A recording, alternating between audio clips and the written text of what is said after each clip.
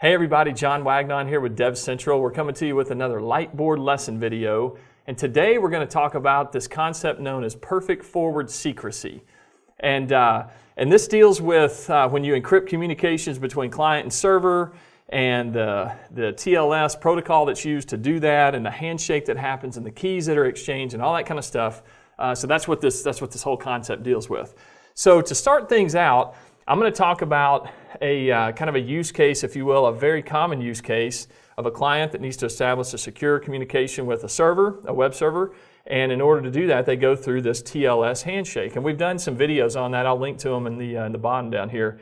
Um, but the, uh, the, the basic concept of what happens when a client communicates with a server is you've got the client over here and you've got the server over here, and the client sends uh, what's called a client hello message. That's the beginning of the TLS handshake. And then the server, and, and with that, there's a set of cipher suites that are uh, offered up by the client. The server has a set of cipher suites that are uh, configured on the server, and then it gets to choose which cipher suite is going to be used in this whole communication. Uh, but ultimately, the, the server is going to send back a certificate, and so I'll put a cert right there, certificate, which includes the public key that the server has. Uh, and the server, of course, offers up the public key to everybody because it's public. And then the client then is going to compute, uh, I'm going to call it a pre-master secret.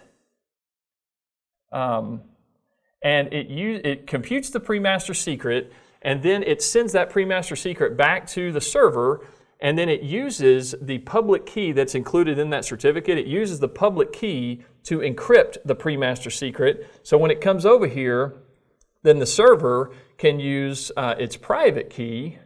So I'll put the private key to then decrypt that pre-master secret. Because if you guys remember with asymmetric cryptography, uh, the, if you encrypt something with the public key, the only thing that can can decrypt it is the private key. All right, so now the server has the pre-master secret because it's decrypted that with its private key because it was encrypted with the public key from the client.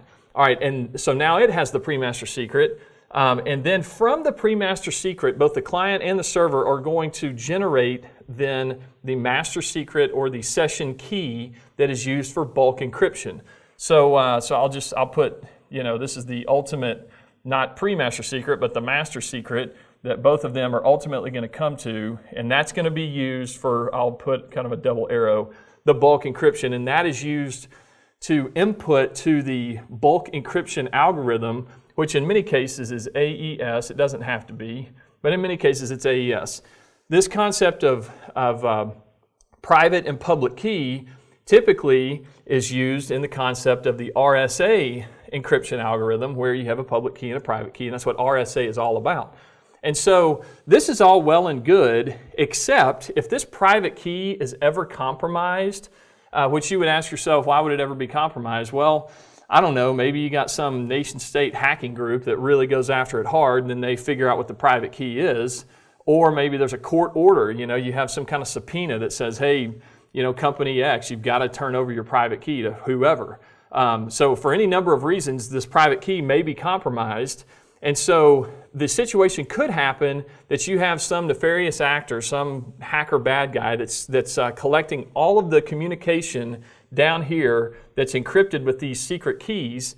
Um, and, he, and this bad guy stores it maybe on a hard drive or whatever, and he just collects it for years and years and years. And then one day in the future, for whatever reason, he gets the private key from this server. And if he gets the private key, then he can take that pre-master secret and he can decrypt it because that's what the client had. He can decrypt that pre-master secret, and then it's fairly trivial at that point to then generate from that pre-master secret the actual secret key that's used in this encryption. And then he can decrypt everything and he can look at all of your communication that you thought was secure. And so people said, hey, let's, uh, let's try to figure out a way around that. And so that's where this concept of perfect forward secrecy comes into play. And perfect forward secrecy tries to get around this, or frankly does get around this, by using some encryption methodologies that are not reliant on the private key of the server. So I'm going to come over here really quick, and I'm going to show you another example of, of what's used in many cases today, where you have a client right here and a server over here. And so the client uh, sends the hello message just like you normally did. So client hello. And then what the server is going to do is the server is going to generate a prime number. So here's a prime number, and then also this thing called a modulo. And then the server is going to uh, pick that, frankly, uh, create that, and then send that back over to the client. But also, as it sends it back over to the client, it's going to uh, it's going to generate what I'll call this secret um, this secret number uh, that's based, by the way, uh, what I'm describing here is the Diffie-Hellman key exchange. And the Diffie-Hellman key exchange is really cool. It's, it's based on these complex mathematical properties, uh, but it does not ever rely on the server or the client using the public or private key in order to exchange the, uh, these pre-master secrets and, and ultimately the keys. And so the server can pick a known prime number, a known modulo, and then it, and then it uh, picks a random integer. So I'm going to say random, random integer, integer. And so using the known prime number and the known modulo and then its chosen secret, I'll call random integer, it create it, it, calculates a value and I'll call it the value, I'll call it A. And it sends that over to the client. So it sends the prime number, the modulo, and this calculated value A. Well, the client now has the prime, the modulo. It's going to it's going to pick its own uh, random integer. So I'm going to put random integer over here as well, integer. And using that same prime number, that same modulo, and that calculated value for A, it's going to calculate a value for, uh, and I'll call it B, and it's going to send that value B back over to the server. And this is the, this is the key exchange, the server key exchange and the client key exchange which can be a part of the TLS handshake. It doesn't have to be like, a, like I showed over here, and it depends on what cipher suite you choose. If you choose, if you don't choose a Diffie-Hellman key exchange part of your cipher suite, then you're not going to have the key exchange part over here. You're going to, you're going to use RSA for that. But if you choose a Diffie-Hellman key exchange uh, cipher suite, then you will have a server key exchange and client key exchange as a part of your TLS handshake.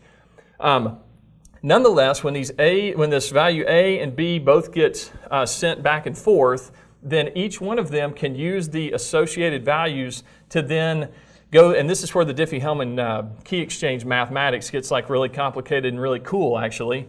Uh, they can both generate the same, I'm going to call it a pre-master master secret um, and then I'll just put that over here as well. So a pre-master secret, goodness, pre-master secret. Just like, so ultimately they have arrived at the same thing that the RSA key exchange uh, arrived at as well, but they've arrived there without ever having to know the private key of the server. And, and again, it's based on this complex math of what the Diffie-Hellman key exchange uh, is founded on, and it's really cool stuff. So based on all this, then they can arrive, they can do all the complex math, they arrive at the same pre-master secret, and then the same, the same basic concept uh, happens at that point uh, where they take the pre-master secret and using that, uh, using that information, using those values, then they can then generate the master secret. So I'll put, uh, you know, secret down here and secret down here. So this leads to that, this leads to that, and then this now can be used as the secret key again, probably, and I'll just put AES again. I'm choosing AES because it's a really common bulk encryption algorithm. Um, and so you have arrived now at a master secret using a bulk encryption algorithm, but you've arrived there without ever having to know the private key of the server. Such a really cool thing. Um, alrighty, so what this does, and the way that this all ties back now to perfect forward secrecy, is if the private key of the server is ever compromised, if you use this stuff, if you use the Diffie-Hellman key exchange, then it doesn't matter if the private key is ever compromised because when, this, uh, when these random integers, I'll just circle this right here, these random integers are chosen, then these things are just randomly chosen and, and I'll, I'll also introduce another, uh, another word, it's called ephemeral. Ephemeral. And what ephemeral means is very short lived. It doesn't take, you know, it, it's not around for very long kind of thing. Uh, it's kind of like a uh, kind of like a New Year's resolution, you know, for most people. It just doesn't last very long. Um, but nonetheless, ephemeral, the, the basic concept of ephemeral is it just does not last long. So if you pick a Diffie-Hellman ephemeral key exchange uh, for your cipher suite, then what's happening is every single time the client establishes a new session with the server, then brand new random integers are chosen, and these are called ephemeral. Uh, this would be an ephemeral key exchange, uh, and that is that again, the random integers are chosen brand new ones every single time. And so, even if you did happen to choose or happen to compromise the random integers that, that, uh, that are used in the creation of all these pre master secrets and secrets and all that, um, even if you were to, to, to grab hold of one of those, if you use ephemeral keys, then you would only have uh, enough information to compromise the communication of that one session between the client and the server. And so the next time it establishes a new session, it's a completely different set of random integers, and you would have no idea what they're talking about. Or you would have no idea what the encryption, what the secret would be uh, that, that uh, you know, encrypted all that stuff. So, uh, so anyway, so perfect forward secrecy is not necessarily a checkbox that you normally have or, or that you would have, say, on your BIG-IP or, or otherwise. It is an outcome of choosing a certain type of cipher suite key exchange. So when you choose the Diffie-Hellman key exchange, you ultimately achieve um, the, this idea of forward secrecy. And if you choose Diffie-Hellman ephemeral key exchange, then you achieve the effect of the what we call a perfect forward secrecy uh, because you're going to have brand new random integers every single time. And so, so when you're in your BIG-IP and you're doing your configurations and all that, uh, don't necessarily look for, hey, let me check box the, the perfect forward secrecy checkbox. Um, what you need to do is you need to choose the right cipher suites that then would provide the effect of perfect forward secrecy.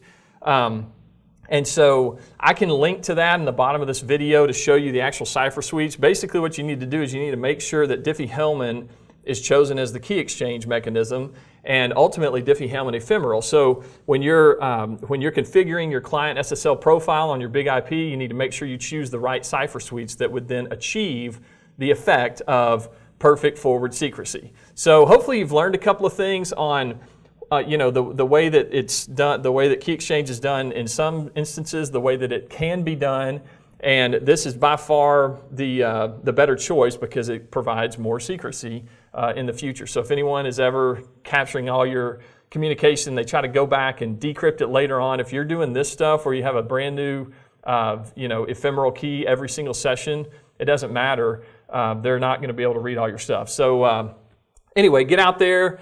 Uh, configure that BIG-IP properly. Again, we'll, uh, we'll uh, link to, to different resources in the bottom of this video. That way you can check it all out. So uh, again, hopefully you've learned a couple things here about perfect forward secrecy. Thanks for watching this edition of Lightboard Lesson, and we'll see you guys out there in the community.